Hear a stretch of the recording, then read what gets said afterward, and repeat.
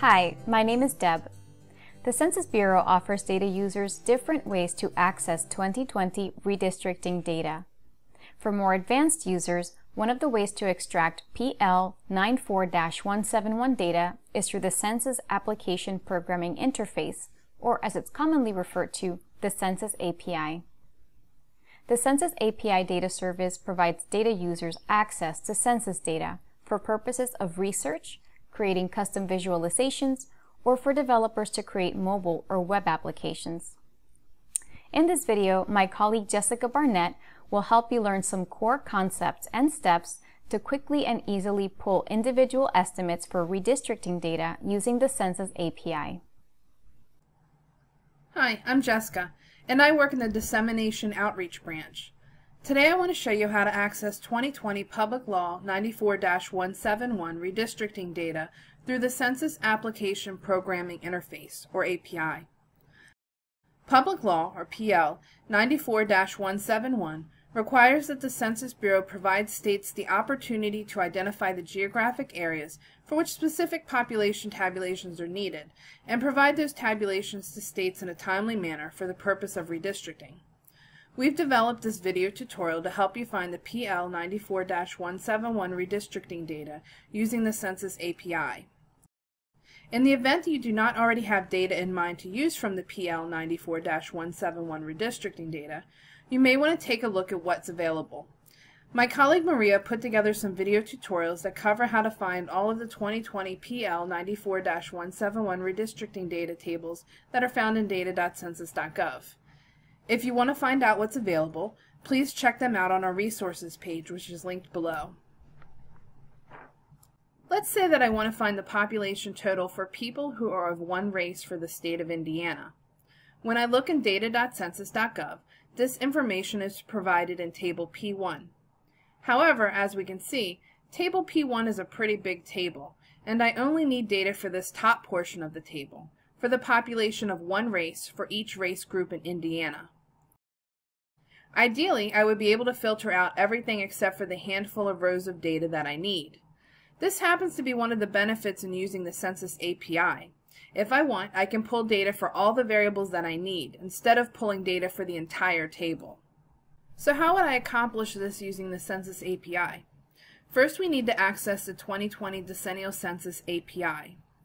We'll use our API Discovery tool to do this. Go to census.gov forward slash data forward slash developers dot HTML.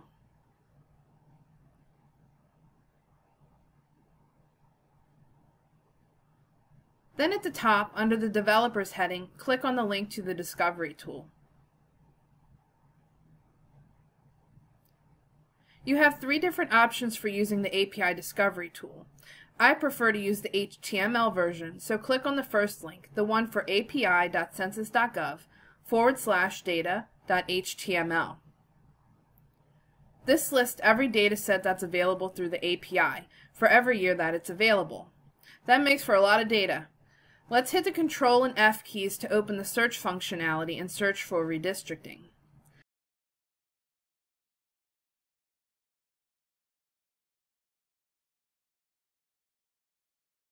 The first matches are for the 2000 redistricting data, so let's click through those.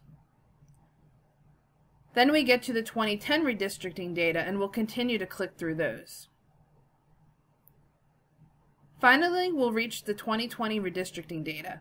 It should say Decennial Census Redistricting Data PL 94-171 in the very first column and 2020 in the third column. Now let me show you a little trick for isolating the information for the data set that you want rather than having to go through this each time you want to go to the 2020 redistricting data. In the fourth column, you'll see that it says DEC and PL separated by a greater than sign. We'll use this information to isolate the data set. Navigate up to the top of the screen and put the cursor right after the word data and enter a forward slash. Then type in 2020, which represents the year that we are using, and then another forward slash DEC forward slash PL. Once you are done, the URL should say api.census.gov forward slash data forward slash 2020 forward slash DEC forward slash PL dot HTML. Hit enter.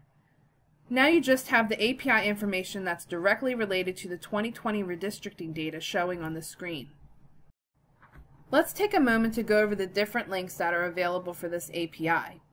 The first link is for geographies. If you click on that, you'll find all of the geographies that the 2020 redistricting data is available for. We happen to need data for Indiana, and we can see from the fourth line that this data is available for states. If we click on the back arrow and then click on the variables link, we'll find all of the variables that are available in the 2020 redistricting data. Let's make a mental note about this page as we'll come back to it shortly in order to find the variables that we need. For now, let's click on the back arrow and click on the Groups link. This lists the six tables that are available from the 2020 redistricting data. Knowing this information is useful if you wanted to pull an entire table, like all of P1, rather than one or more individual pieces of data. Let's click on the back arrow again and move on to the examples link. This page is extremely helpful because it provides you with example API queries that you can use for each available geography. We'll take a closer look at this page again soon.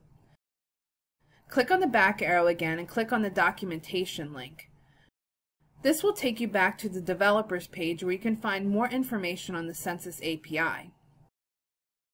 And if we click on the back arrow a final time, we'll see the base API query that is used for the 2020 redistricting data. As you use this redistricting data API, you'll notice that every API query starts with the same base URL.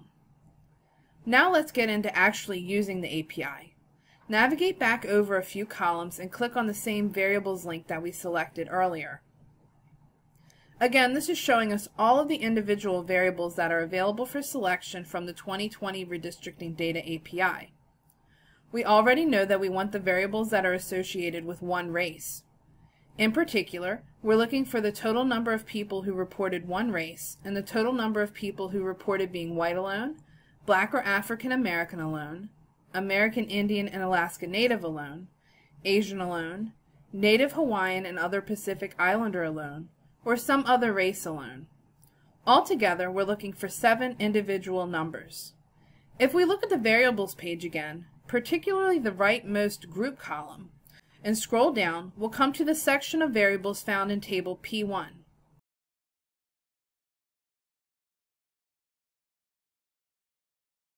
This looks promising, so let's take a closer look. The first variable is P1 underscore 001N, which represents the total number of people.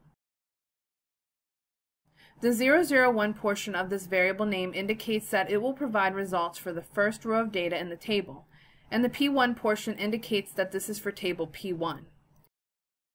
If we look back at the table in data.census.gov, we'd see that this is the variable for the very first line of the table. This is definitely important data, but it's not one of the numbers that we are specifically looking for. Returning to the list of available variables, we can see that the next variable is P1 underscore 002N, which is for the total population of one race. This does happen to be one of the variables we want, so I'm going to make a note of that variable name, P1 underscore 002N. If I continue to look down the variable list, I can see that variables P1 underscore 003N through P1 underscore 008N are the other variables that we want to use. Each of these provides data on a different alone race group. Just to confirm, if we look at P1 underscore 009N, we can see that it's the total for people who reported two or more races, and that's not data that we need. So now that we have the seven variables that we need that represent the numbers we want from the table, P1 underscore 002N through P1 underscore 008N, let's jot them down. Now that we have those noted, let's hit the back arrow and click on the examples link. Again, this is the one that we clicked on earlier. We need this data for Indiana, so we're looking for the state geography. Lucky for us, this happens to be close to the top of this page, in the fourth section labeled State. As we can see, there are two example API queries in the State section. The first one includes an asterisk, When looking at API queries, an asterisk indicates that all geographies will be included. In other words, when we see that this particular query includes ampersand for equals state with the asterisk, we know that it will run the requested query and return data for all the states in the U.S. The second query, on the other hand, does not have an asterisk, but instead has a two-digit number. This two-digit number is the State Federal Information Processing System, or FIPS code. The state FIPS code included in this query, 06, is the code for California. We need to find the state FIPS code for Indiana, though. The easiest way to do this is to run the first query, the one with the asterisk. Let's right-click on that and click Open Link in New Tab. Now we can see a list of all the states and each one has a two-digit code next to it. This two-digit code is the state FIPS code. We can confirm this by looking at California. The code next to it is 06. Let's find Indiana. And it looks like the state FIPS code for that is 18, so let's make a note of it. I'd like to note that you can also find a complete list of FIPS codes by going to our geographic reference files, which are linked below. Let's return to the API examples page that we were looking at earlier. Since we just want Indiana, it makes more sense to use the second API query where we'll enter the single state FIPS code rather than use the first query, which would give us data for all the states in the U.S. So let's right click on the second query and select Open Link in New Tab. As you can see, it has opened the query in a new tab and we already have output available. As it stands, this query is just giving us the name of the state, along with the state FIPS code, and not any data. Modifying the query to include the variables we need is pretty easy though. Go to the get equals portion of the URL and put the cursor right in front of the name variable. Type in the variable names, all separated by commas. Make sure you don't include any spaces, and then add a comma after the last variable name in order to separate it from the name portion. For the sake of time, I've already copied the variables that we need, and I can quickly paste them into the URL. As you can see, when we finish, this portion of the query reads get equals p1 underscore 002n, comma, p1 underscore 003n, comma, p1 underscore 004n, comma, p1 underscore 005n, comma, p1 underscore 006n, comma, P1 underscore 007N, comma, P1 underscore 008N, comma, name. The geography portion reads ampersand for equals state, colon 06. Now let's hit enter just to make sure the query is still running correctly and giving us the data that we are expecting. And it looks like it worked just fine. We have all seven numbers. But these are still for the state of California. We need to change it to Indiana.